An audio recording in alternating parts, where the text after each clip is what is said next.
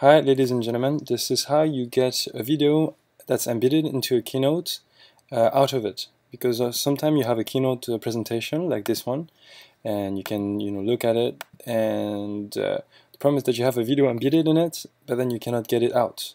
So I'm going to show you how in a two simple steps how to get the video out. So first if your keynote presentation doesn't have a dot key EY at the end well, type it in, dot key EI, and it's going to ask you if you want to uh, keep the dot key EI at the end of the, your, your file name as an extension. So the first thing you're going to do is to actually change this key EI into a dot zip, zip.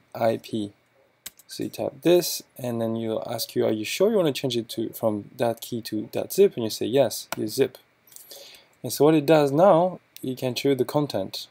And in the content, this is where you can find the file that you are looking for. You don't actually even need to open Keynote or to own Keynote yourself uh, to uh, get the video that's embedded into a Keynote file. That's it. So now you can do whatever you want with this uh, Keynote file, uh, with its QuickTime file or any other video format that was, um, uh, that was within.